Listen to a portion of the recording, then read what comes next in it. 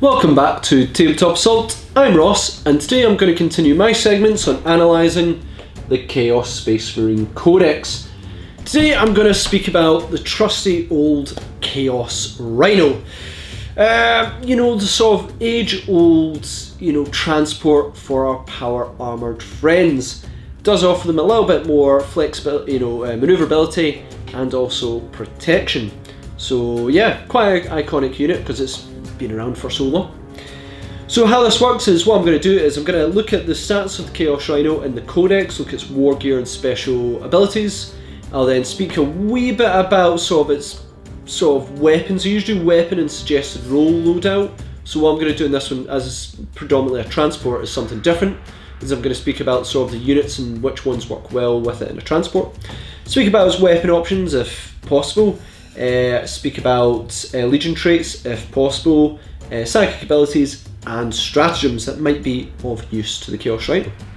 With that, let's have a quick look at the Codex uh, stats for the Rhino.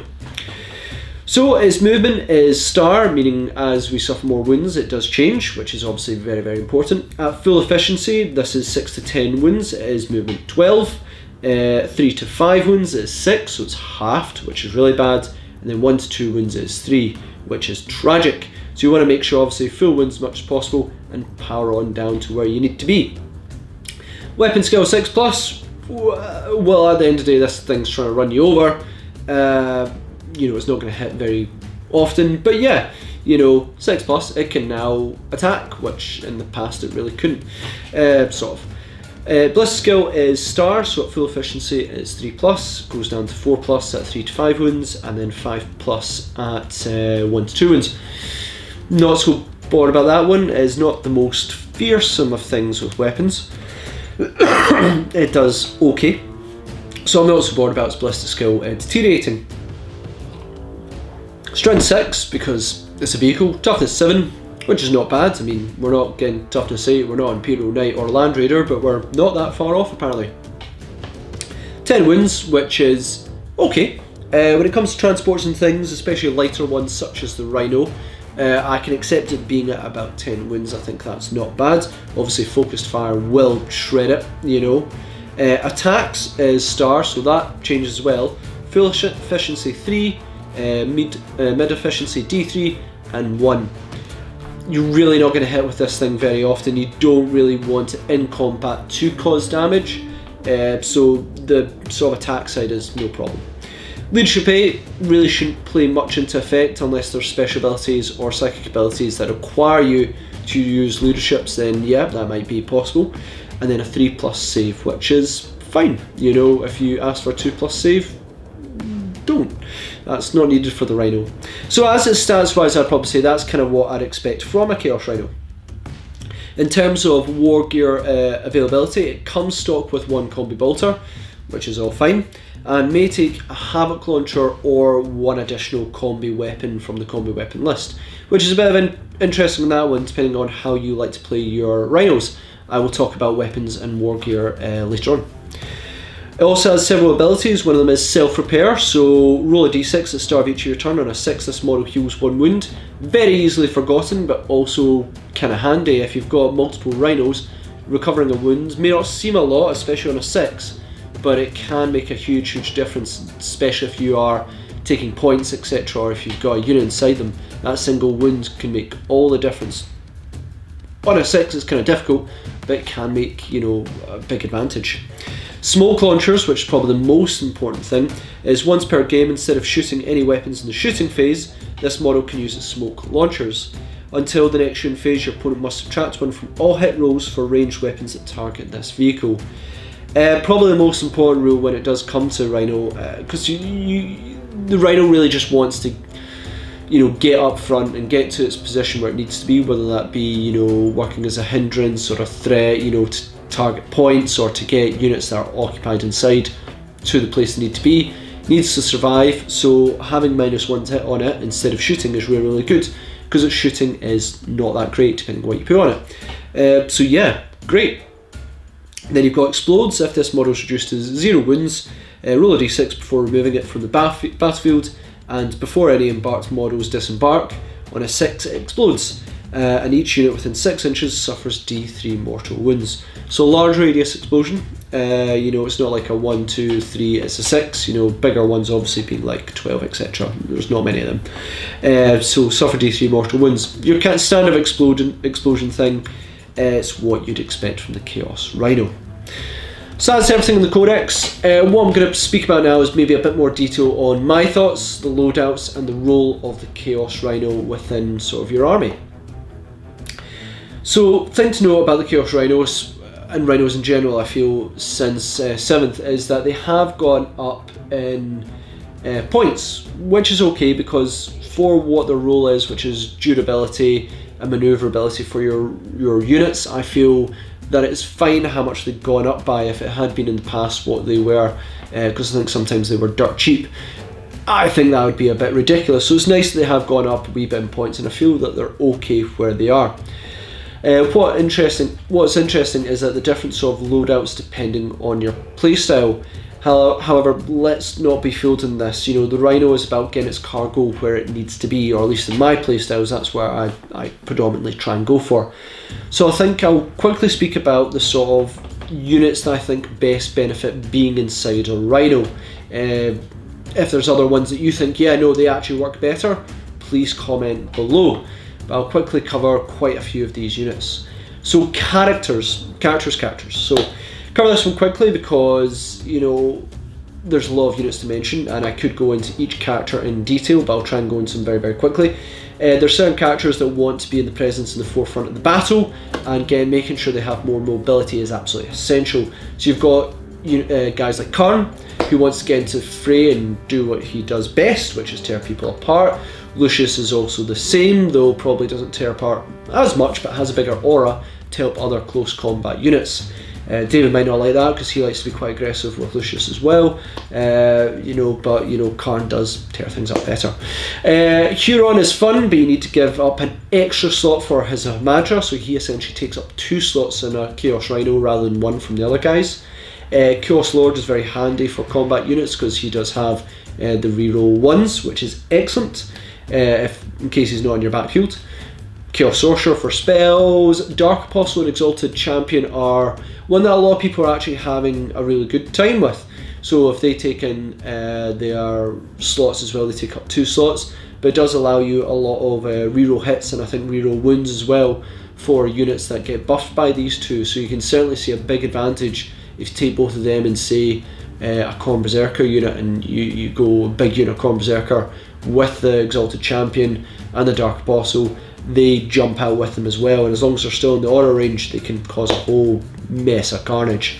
So those characters, I think, is important when you do have a team inside there. Kind of nice to think about the characters that will go along for the ride. Next up, uh, unit-wise, uh, Chaos Space Marines, not bad but not great, the, the general Chaos Space Marines.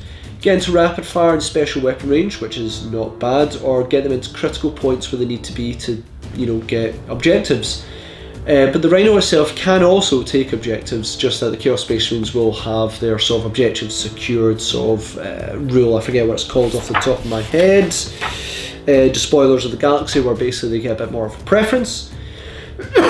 I like fielding when it's is going to be Chaos Space Marines in a Rhino. I like to, and I'm not taking any characters in there, I like to field them in two units of five rather than ten. Uh, I just feel that's a bit better, a bit more cover the field, you're less threatened by morale and focused fire. Uh, I think I covered that in my Chaos Space Marine video, it was a long time ago. Uh, but I like, you know, two units with their special weapons, two units of five in there and then split off and do what they do best.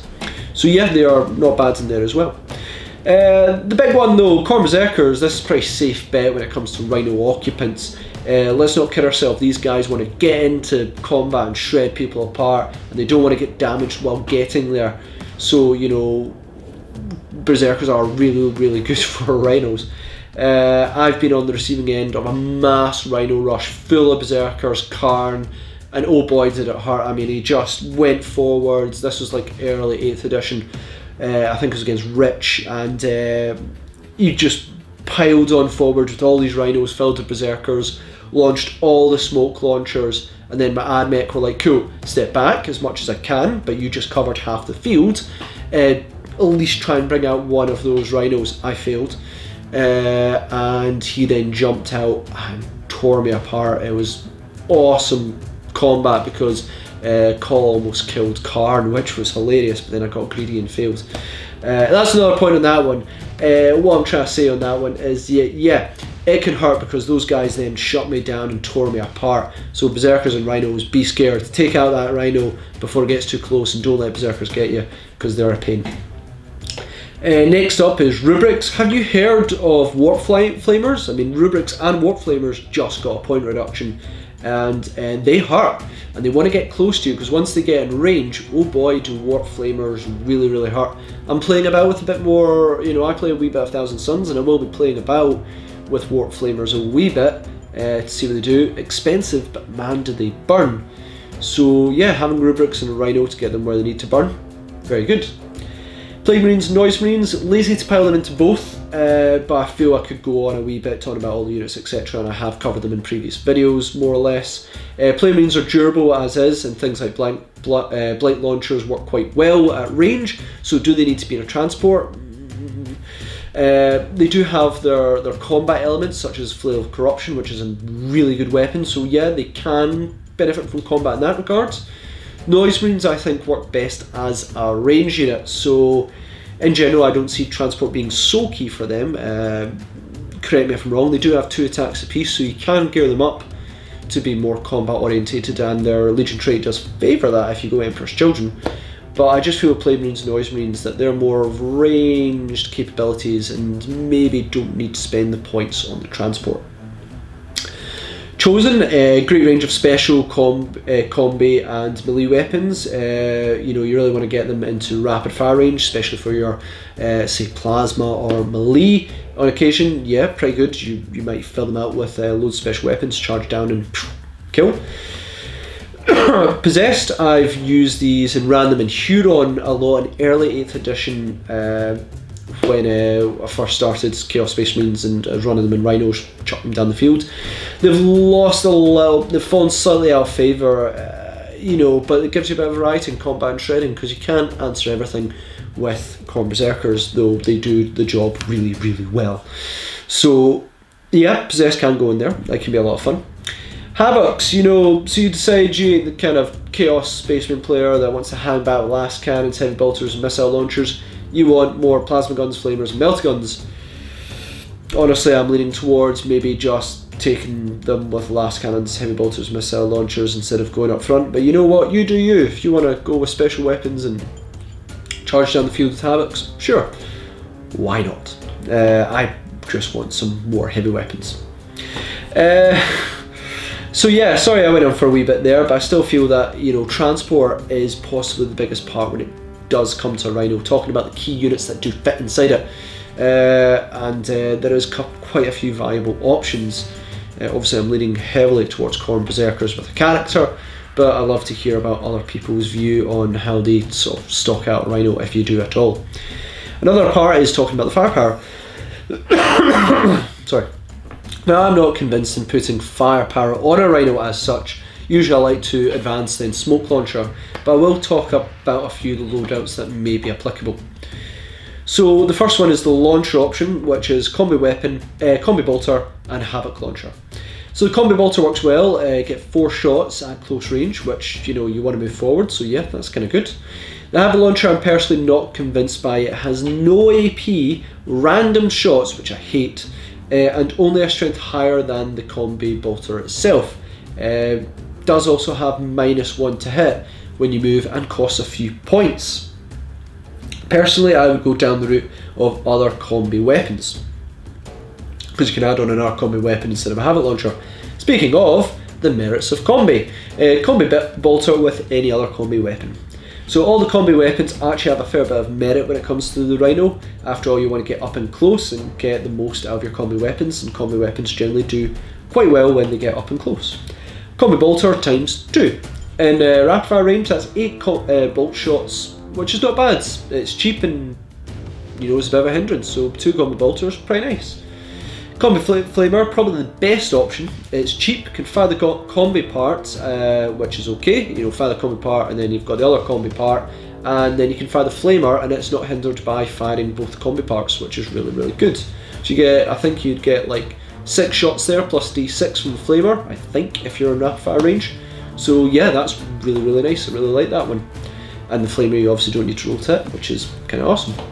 Combi Melta, Uh, well, you have to have mobility to get within melta range, and a stray shot that does a lot of damage can be a lot of fun. You know, it's not guaranteed, but yeah, can be fun. Combi plasma, be careful. I mean, plasma is a lot of fun, let's not kid ourselves. But if you shoot the combi part and then, so this is something that's interesting. You know, if you fire the combi part and you overheat it, uh, and then you fire the combi bolter part, you will slay yourself. And as far as I know, you will slay yourself on a one or two, uh, which is dangerous. You know, because you uh, the combi, if you shoot the combi bolter, it's minus one ten on both, so you will die in a one or two. Now, correct me if I'm wrong in this. It's maybe in like the big FAQ and I missed it. Uh, but I'm interested to hear what you think on this one.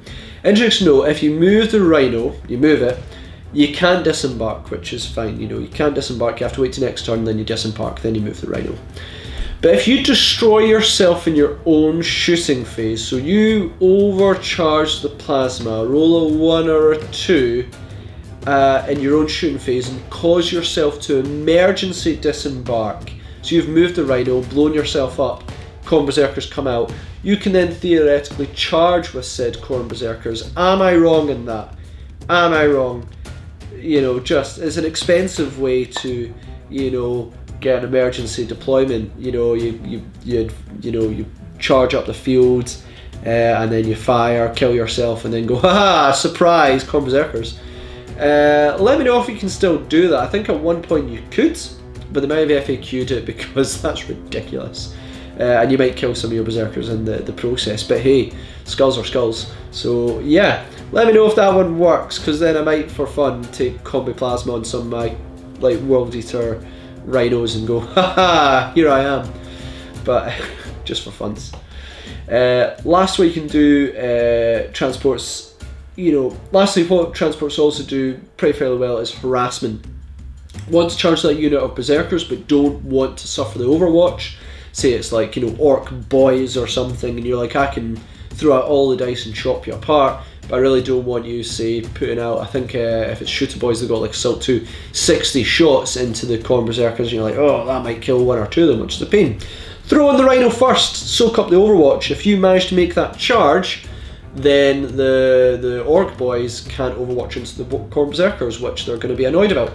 Um, so yeah, you know, can help your units you know, sort of going unscathed. I think it's a very common Dark Eldar tactic, and that's where I read of people like, cool, gonna fire a raider at you now, you know, that unit's jumped out, here comes a raider to hold you down. But you can usually do it with rhinos as well, you know, just charge in and take the overwatch, unless it's like, you know, they hit stupidly and they're super strong, then maybe not. But I think uh, to take small arms fire might be worth it. Legion traits. So we come to that part again where Space Marine kind of units, including Chaos Space Marines, don't get Legion traits on their vehicles and stuff. It's only on infantry, bikers, demon princes, and hellbrutes. So yeah, but I like to talk about them just because there's some shenanigans we could have pulled off if we did get vehicles like other armies do, but we do not. Uh, Alpha Legion, hidden in plain sight. I would have loved this like a lot. Um, don't get first turn, it's okay, you're probably minus one tick because you're so far away. Yeah, that's fine, that's all good. Get first turn, move forward, you're maybe not in optimal range yet, but you can activate smoke launchers and if you're in position correctly, be minus two to hit and, you know, be a bit more of a threatening unit. Tragic we can't get that because on Rhinos that would be awful, that'd be fun.